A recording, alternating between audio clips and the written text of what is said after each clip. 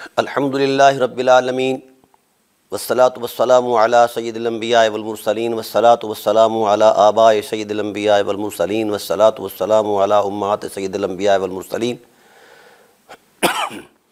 वस्सलातु वस्सलामु अला अमाम सय्यिदिल वल मुरसलीन ला सय्यम नफ़दुल बशर इबादल अंबिया बिल क़ौल गालिब खैरुन नासिरीन सय्यदुना अबू तालिब अलैहिस्सलातु वस्सलाम व अला आलिहि व असहाबी अजमईन अम्मा बाद फ़ौज़बिल्लिमिनशैतानरजीम बसमीम वकुल जाहक़ वज़ाक़लबातल इन्नलबातिल कान ज़हूक़ा सदक़ल्लाहुल नाजरीन कराम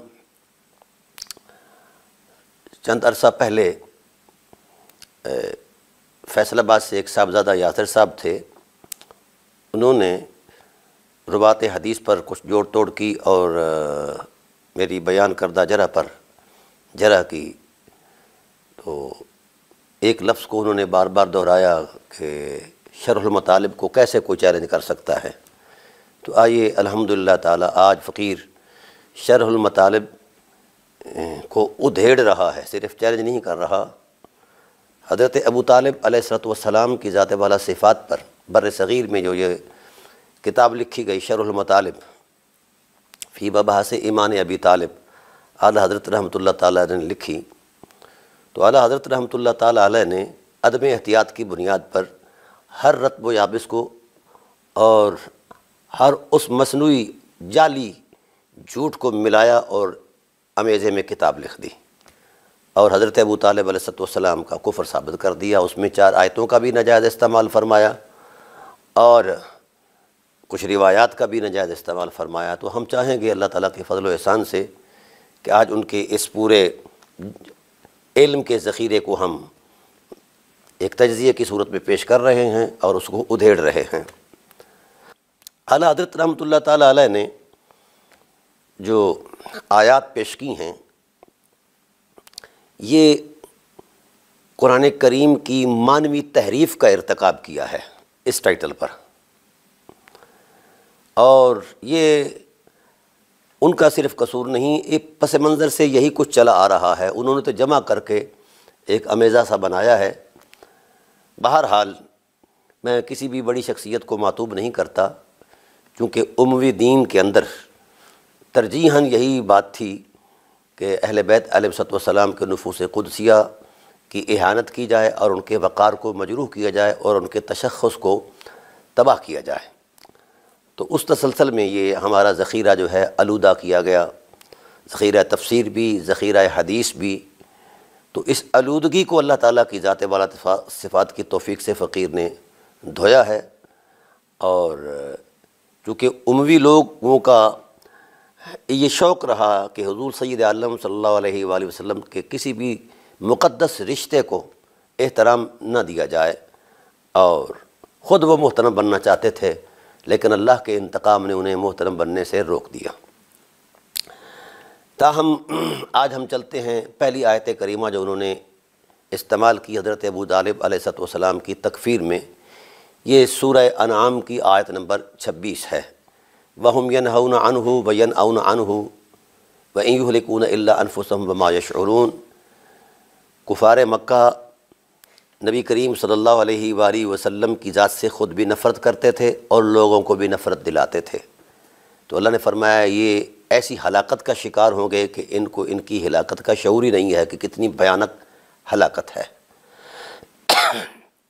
तो नाजरीन मोहतरम, अब इस आयत करीमा को नाजायज़ तरीके से इस्तेमाल किया गया हज़रत अबू तालब सलाम के ख़िलाफ़ और एक जाली कौल लाकर इस आयत के ज़मन में पेश कर दिया गया।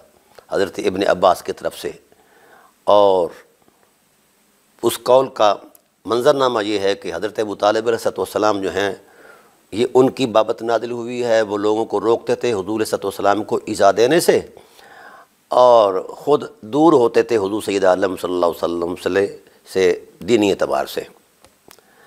अब उस जालसाजी का ये फ़कीर भांडा फोड़ रहा है और उधेड़ रहा है शरहमतालब की जोड़ तोड़ को। ये सूरह मुकदसा चार सन नबवी के बाद नादिल हुई, चार सन नबवी को सूरह हजर नादिल हुई और उसके बाद दफ़ अतन ये सूरह मुकदसा जो है, ये नादिल हुई। पहली बात तो ये है कि जिस वक़्त ये नादिल हुई, ये आयात नादिल हुई तो हज़रत इबन अब्बास उस वक़्त पैदा ही नहीं हुए थे। हैरत इस बात पर है कि उनका कुरान से वाबस्ता होना सत्रह साल के बाद है। क्योंकि चार या पाँच के दरमियान ये सूरत नादल होती है और जनाब इबन अब्बास पैदा होते हैं दस सन नबवी को और, को दूध छूत पिया होगा, फिर ग्यारह सन नबवी को जनाब वाला हिजरत हो जाती है। फिर उसके बाद हजू सैद आलम अलैहि वसल्लम आठ साल बाद आठ सन हिजरी को तशरीफ़ फरमा होते हैं। तो इस दौरान नज़ुल आयत को तकरीबन सतारह अठारह साल का अरसा हो चुका था। इस सारे टाइम पीरियड में जिस ज़ात पर कुरान नादिल हुआ है, उस ज़ात को नहीं पता चला कि इस आयत का महल क्या है। और ये जो जाली कौल जनाब इबन अब्बास की तरफ़ मंसूब किया गया है, उसमें ये निशानदेही कर दी गई है कि ये जनाब अबू तालब सलाम के ख़िलाफ़ नादिल हुई है।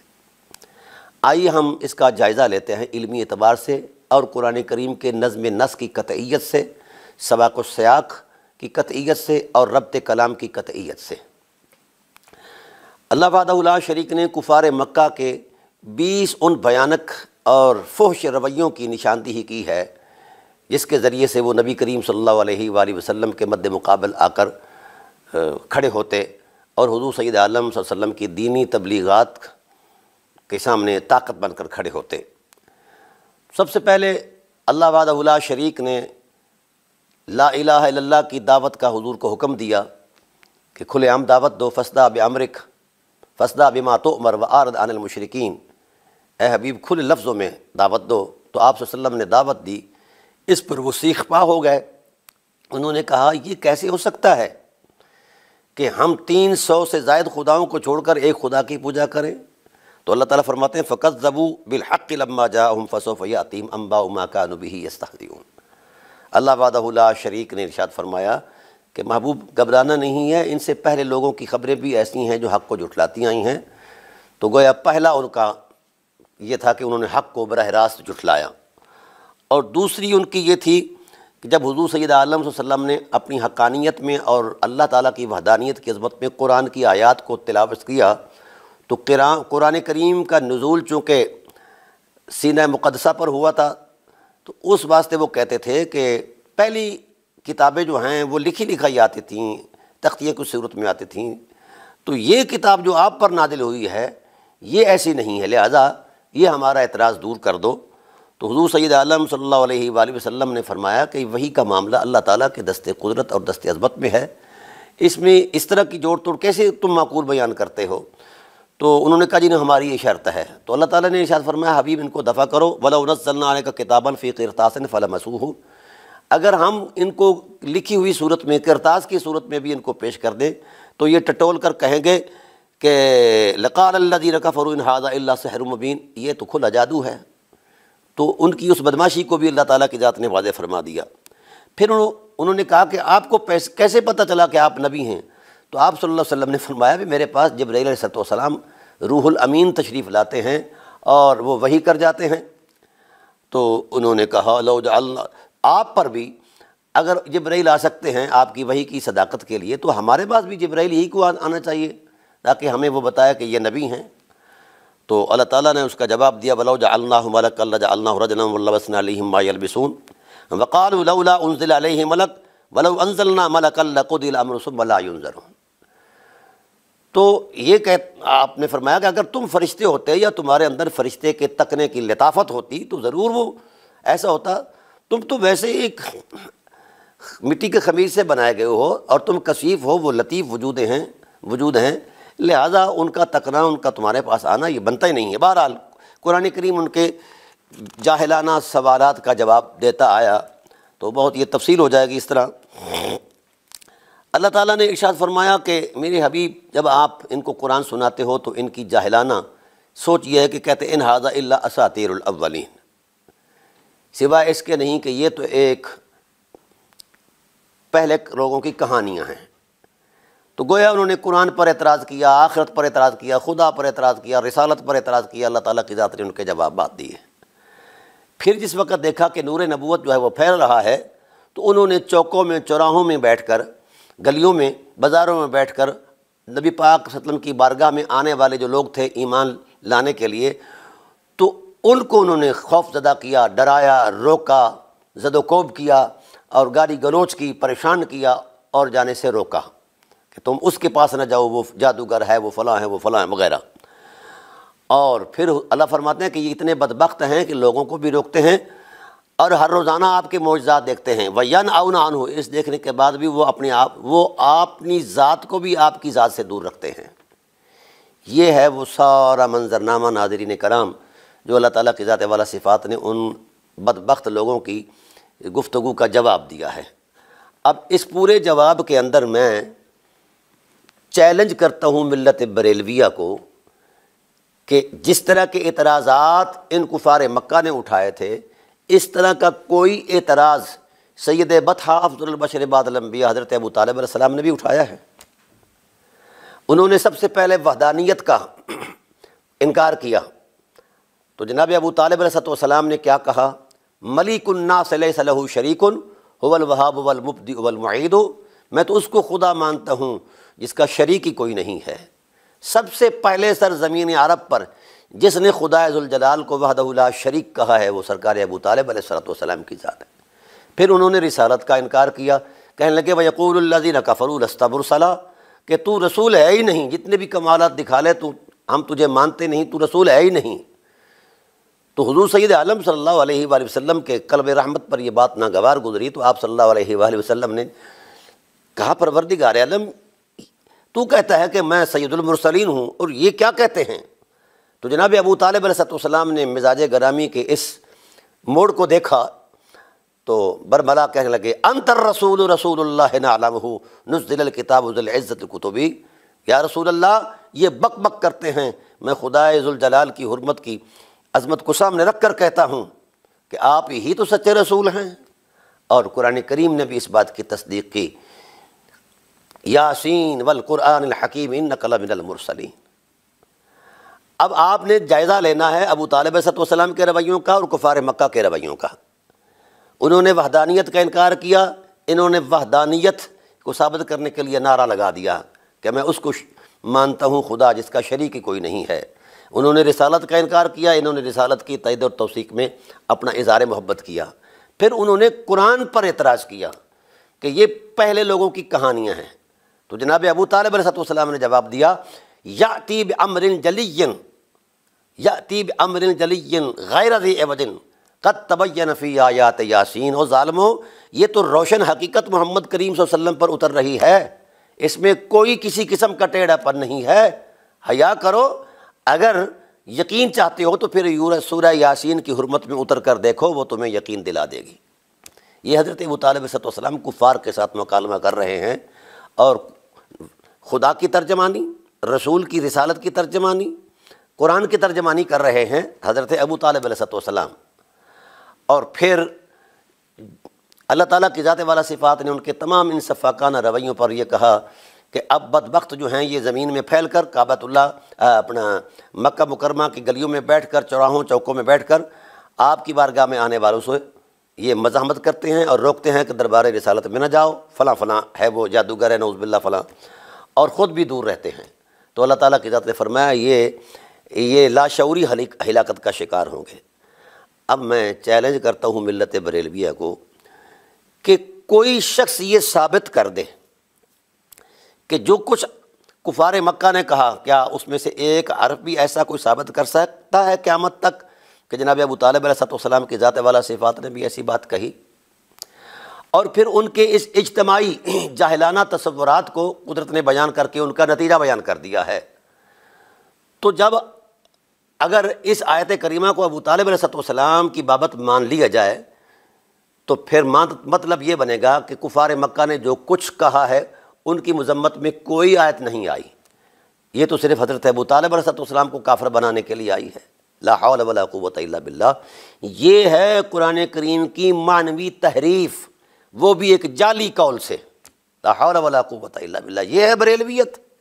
ये है सुन्नीत ये है मज़हब महजब लाहौल वला इल्ला बिल्ला लाहौल वला इल्ला बिल्ला अब वयन हाउना आन हो भी जमा मुजक्र का सीगा है अवयन हाउना आन हो भी जमा मुजक्र का सीगा है।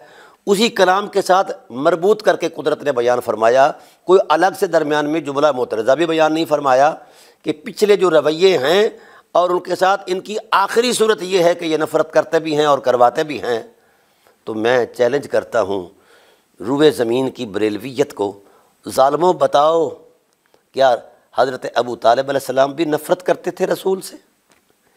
जिनकी मोहब्बत के, जिनकी मोहब्बत के तवातुर का ज़माना गवाह है, रसूल गवाह है, खुदा गवाह है। अच्छा फिर कुरान करीम की आयात का क्या मज़ाक उड़ाया हमारे बरेलवी मोहसिनों ने? कि कुरान तो उन लोगों की मजम्मत कर रहा है जो ये बक बक करते थे। और उन लोगों की तो कुरान मिदहत बयान करता है जिन्होंने कुरान करीम को कुरान कहा। सबसे पहले सरजमीन अरब पर जिसने खुदाजलाल के कलाम को, कलामी इलाही कहा, वो सरकार अबू तालब सलाम है। सबसे पहले जिसने ला इलाहा की हरमत का तकदस बयान करके उस पर पहरा दिया है और चार नस्लों की कुर्बानी पेश की है, वो जनाब अबू तालब की ज़ात वाला सिफात हैं। शर्म आनी चाहिए, इस झूठ पर तुम कुरान पर भी झूठ बोलते हो। रिसालत पर भी झूठ बोलते हो। तो कोई एक रवैया तो साबित कर दो कि जनाब अबू तालब सलाम की ज़ात वाला सिफात ने इस नज़म नस के अंदर जो है, नसूस के अंदर जो है, कुछ, कोई एक रवैया जो उनमें भी पाया जाता था, जो इक्वल था जनाब वाला कुफार मक्का के अंदर भी वही था और जनाब अबू तालब सलाम के मन में भी वही रवैया था या उनके तर्ज अमल में वो रवैया था। एक रवैया नहीं साबित कर सकते, क़्यामत तक। इसलिए तुम्हारी तफसीरें भी झूठी फ़िक्र भी झूठी शूर भी झूठा, क्योंकि तुम उमवी दीन के तर्जमान हो, नबवी दीन की तुम्हें बू भी नहीं लगी। आशकान रसूल के दावे करते हो कि हम बड़े आशक हैं। ये कहते हैं कि रसूल के वफादारों के साथ ये रवैया तुम्हारा कि उनको तुम कुरान की तहरीफ करके भी उनको तुम उनके तकफीर के लिए ड्रामे करते हो। और जो गद्दार थे, उनके लिए तो फिर सारा एजाज़ात हैं। दाहौल वला कुत बिल्ला ये बरेलवियत है, ये मज़हब महजब है, ये सुन्नीत है। तो हम ऐसी सुन्नीत से बगावत का ऐलान करते हैं। ये सुन्नीत नहीं, ये उमवियत है। सुन्नीत और है कि हर में काबा के अंदर भी आला हज़रत खुद गवाह हैं रहमा इसके, कि वहाँ खुतब जुमा के अंदर जनाब अबू तालब सलाम का तस्करा ऐसा ही होता था जैसे किबार से हबा का हुआ करता था और एहतराम की अजमत में हुआ करता था। बहरहाल अर्ज़ करना चाहता हूँ वयन हाउना आन हो वयन आउन आन हो एक इज्तमाही किरदार को अल्लाह ने बयान करके उसका नतीजा बयान कर दिया है। तो बोलिए, इस वयन हाउना वयन आउना इन दोनों के अंदर हज़रत अबू तालब सलाम किरदार की वजह से, उस रवैये की वजह से कहाँ मानाए आयत हैं? अगर उनको मानाए आयत करार देते हो तो फिर इसका मतलब ये है कि फिर हज़रत अबू तालब सलाम की सारी सरगर्मियाँ जो हैं, उसकी हैसियत ही ख़त्म हो जाती है। अगर माना आयत करार देते हो तो फिर तुम पर फ़र्ज़ है कि उनके अंदर ये रवैये भी साबित करो, जिनकी मजम्मत में कुरान आया है। और अगर उनके अंदर ये रवैये नहीं हैं, उनके अंदर वफ़ा है, इशार है, मोहब्बत है, और शफकत है, नुसरत है एनत है तो फिर इक्कीस सौ आयात इस हरमत में नादिल हुई हैं। ालमो कुछ हया करो।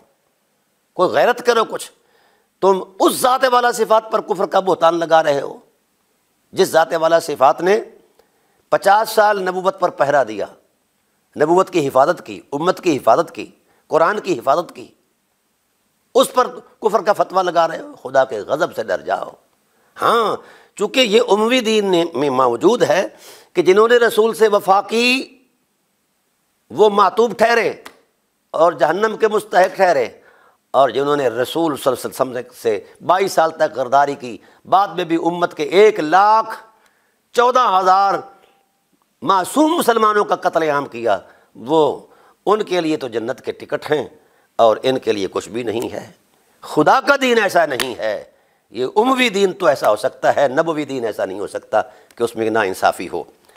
अच्छा अर्ज़ करना चाहता हूँ कि जब वयन अन आन हो वयन अन आन हो के अंदर वो माना आयत है ही नहीं। तो फिर किस बुनियाद पर उनको इस आयत के ज़िमन में ले आते हैं? हज़रत इबन अब्बास रज़ी अल्लाह तन हो तो ये आयत के बयान करने के उस वक़्त, उस एतबार से मिजाजी नहीं।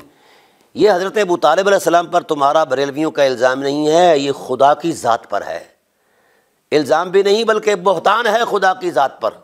नबूवत की ज़ात पर बहतान है। कुरान की हरमत पर तुम्हारा बहतान है। अगर हज़रत अबू तालब सलाम माना आयत बनते हैं तो फिर दूसरे लोग जो हैं, वो तो उनकी तो छुट्टी हो जाएगी, वो तो जो मर्ज़ी करते रहे, उन पर कोई मुआवजा नहीं, सारा मुआवजा हज़रत अबू तालब पर है। तो फिर इस तरह जो जो उन्होंने कहा, कुफार मक्का ने, और जो जो रवैये इख्तियार करते रहे वो उनके लिए वो सारा कुछ अज़म हो गया, और वो अजमत माप बन गए, और हथे चढ़ गए बरेलवियों के जनाब हज़रत अबू तालब सलाम की ज़ात वाला सिफ़ात। कोई चीज़ तो रबते कलाम की अजमत में न और जनाब, सियाक कलाम की अजमत में और नज़म नस की अजमत में कोई एक हरफ तो साबित करो ालमो खुदा के गज़ब से डर जाओ। क्यों रूह स्याल लेकर दरबार रसालत में जाना चाहते हो? रसूल के बाप को कुफर की काली देकर। वो खुदा का खौफ करो। बहरहाल, किसी भी सूरत में नादरीन कराम हज़रत अबू तालब सलाम इन आयात का माना नहीं है। ना नज़म नस की कतयत की सूरत में और ना ही रबत कलाम की सूरत में और ना ही मुक्तदा कलाम की सूरत में। ये सब ड्रामा है और फ्रॉड है और शुरू से ही चूँकि हदीसों की जो तदरीज थी, हदीसों की जो तदवीन थी, वो उमवी दौर में होती, हुई है। तो उन्होंने इस तरह की, इस तरह की चीज़ें मिलाकर कुरान करीम की तारीफ़ मानवी का इरतकब किया और अहल सुन्नत को, मेरे बरेलवी भाइयों को ये शूर मिल गया कि दीन तो सच्चा उमवी है, नबवी दीन की क्या हैसियत है? ये है तुम्हारा कद काठ ये है तुम्हारे शूर की बलिदगी, और ये है तुम्हारी जहनी हैसियत, और ये है तुम्हारे अंदर की पलीती। किस बुनियाद पर? रिसालत पनाह आलम वसल्लम के हरम पर तुम बक बक करते हो? किसने तुम्हें हक दिया है? कौन होते हो तुम? तुम्हारी हैसियत क्या है? मुँह चौपड़ के आ जाते हो और बड़ी बड़ी रंग बिरंगियाँ पगड़ियाँ पहन कर आ जाते हो। अब अल्हम्दुलिल्लाह अबू तलबी बेदार हो चुके हैं और उधेड़ेंगे तुम्हें अच्छी तरीके से, अल्लाह ताला के फजलो एहसान से। खबरदार, तुम्हें किसने हक दिया है कि हजूर सैद आलम के हरम के बाबत तुम फैसले करो? जिनके अपने ईमान पर कोई दलील नहीं है। आला हज़रत रहमत ताल हजरे में बैठ कर चार लफ्ज़ लिख दें तो वो मुजद बेत हादरा बन गया सुबह अल्लाह मुझे इस लफ्ज़ से भी कोई एतराज़ नहीं, उनकी शख्सियत से भी नहीं। लेकिन जिसने चार नस्लों के खून के दरिया बहाकर इस्लाम को बचाया है, उसके लिए इज़्ज़त ही कोई नहीं है। वो खुदा का खौफ करो। तो गोया, ये आयत करीमा, अगर उनके बाबत आज भी बरेल भी इस्तेमाल करते हैं तो कुरान की तहरीफ मानवी के मरतकब हैं। और तहरीफ करना यहूद का शार है। किसी मुसलमान का शार नहीं है। दूसरी सूरत यह है कि उस कौल के अंदर तो इतनी सक्कत ही नहीं कि वो ये बात कर सक इसमें जो बात आप कहते हो वो तो है ही नहीं। भाई, इब्न अब्बास रज़ी अल्लाह तहो क्या कुरान करीम मुफसर अव्वल जो हैं वो कुरान करीम की इस तरह तहरीफ करते हैं? न उन्हें रबत कलाम का पता, न उन्हें नज़म नस का पता, न मुख्तज़ा कलामी राही का पता। तो उन्होंने कुफार मक्का की किसी रेशा दमानी को पेश ही नहीं किया। तो उन्होंने डायरेक्ट ही जनाब अबू तालब सलाम का नाम ले दिया। इतने वो पागल नहीं थे जितना मौलवियों ने समझा हुआ है। ये जालसाजी है और उमवी दीन की तराश खराश है। इसका कुरान से कोई ताल्लक नहीं, मिजाज नबूवत से कोई ताल्लक नहीं। और फिर दूसरी बात अर्ज़ कर रहा हूँ। रुए ज़मीन का कोई मुल्ला मुलवाना किसी भी एतबार से, जनाब अबू तालब सलाम के वजूद में वो चीज़ें साबित करके दिखा है किसी बावसूख ज़रिया इलम से जिस चीज़ों को, जिस चीज़ों पर ये कुरान पाक नाजिल हुआ है, नहीं कोई कर सकता। तो जो आयत का महल नहीं है हाँ जी, आयात कुरान को बेमहल कर रहे हो और बड़े शान हला हला कर कहते हो, हम अहले हक हैं, अहले हक नहीं हो। तुम पता नहीं क्या से क्या हो। तोबा करो मौलवी हो इस दौर के मैं कहता हूँ कि ये साहबजादा साहब से भी कहता हूँ कि तोबा करो, खुदा से डर जाओ, क्या जवाब दोगे? कुरान की नज़म नस के साथ मज़ाक, कुरान की सलासत और रवानी के साथ मज़ाक और खुदा जलाल पर इल्ज़ाम नबूत पर बहतान। लिहाजा जनाब अबू तालब सलाम का इस आयात से कोई ताल्लक नहीं, बल्कि इनके मद्द मुकाबल ताकत बनकर हज़रत अबू तालब सलाम आए। और दूसरा ये कि इसकी सनद ही बिल्कुल ज़यीफ़ है। अमन सामिया के जुमले का मिसदाक ही किसी मौलवी के पास कोई नहीं है। और अबू हज़रत इबन अब्बास इस तरह की हमाकत कर सकते हैं कि वो कुरान करीम के साथ टकरा जाएँ और फिर नबूवत पर इल्ज़ाम यह है कि नबी करीम सल्लल्लाहु अलैहि वसल्लम पर यह जो नाजिल हुआ था तो आप वसल्लम की ज़िम्मेदारी थी नबवी ले तो भैया लड़ना से माद उस दिल के अंग अंग कुरान का बयान करो मेरे हबीब, जो कुछ भी नाजिल हुआ है। आपने भी किसी सहाबी से इसका तस्करा किसी के कान में किया है? कि जनाब वाला, ये हज़रत अबू तालब के बारे में नादिल हुई? चैलेंज है मिलत बरेलविया को। एक हरफ नबूवत का कोई साबित करके दिखाए। चैलेंज है। और फिर सतारह साल तक रसूल खामोश रहे, सारी उम्मत खामोश रही। फिर वो मौला कायनात जो कुरान के अंग अंग में उतरा हुआ है, जिसके अंग अंग में कुरान उतरा हुआ है, कुरान उनके साथ जुड़ा है, वो कुरान के साथ जुड़े। उनको नहीं पता चला, और किसी आइनी शाहिद को नहीं पता चला, बनी आशम को नहीं पता चला, और अकाबिर सहाबा को नहीं पता चला खुद रिसालत को नहीं पता चला। सतारह साल तक ये कुरान की आयत खामोश रही, बेमाना रही, बेमाल रही। सतारह साल बाद एक कौल आया और उस कौल के साथ एक कुरान पाक के पूरे नज़म को जनाबला जोड़ दिया गया। हाँ ये तुम्हारा शियार है। कुफ़ार को तुम इज़्ज़त देते हो। वफ़ादारों को इज़्ज़त देना तुम्हारे बस की बात ही नहीं है। अगर अबू तालब सलाम इस आयत का महल बनते हैं किसी भी सूरत में तो मतलब क्या बनेगा? कुफार मक्का ने जो कुछ कहा, वो सब कुछ सही कहा। चूँकि महल जो अबू तालब हैं नाउज़ बिल्ला तोबा करो मौलवियों और अल्लाह से डर जाओ। इन बकिया गुफ्तु जो है इस पर मैं बाबा करूँगा। और बाकी भी तमाम आयात का सही महल जो है, उसका मिसदाक जो है, वो अहल सुन्नत की तफासिर से वो पेश करूँगा इन अज़ीज़। और अब ये ऑपरेशन ज़रब अज़ब शरमतारब पर जो है, शुरू हो चुका है। इंतज़ार फरमाइए और आइए मैदान में जवाब दीजिए।